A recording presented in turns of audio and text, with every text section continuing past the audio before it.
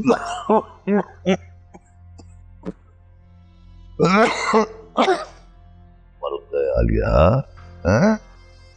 खराब लग रहा है आपका, खैरियत है?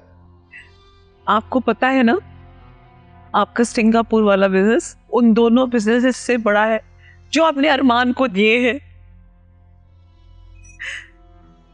ये सिला दिया है आपने उसकी मेहनत का और मोहब्बत का। कितना अपसेट है वो।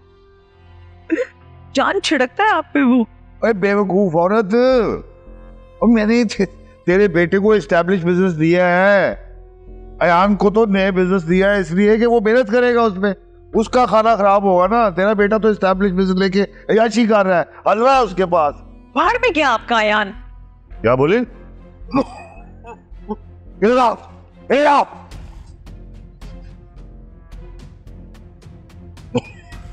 अरे, जान से मार दूँगा मैं तुझे।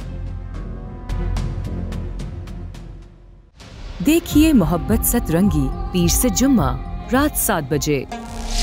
सिर्फ़ ग्रीन एंटरटेनमेंट पर।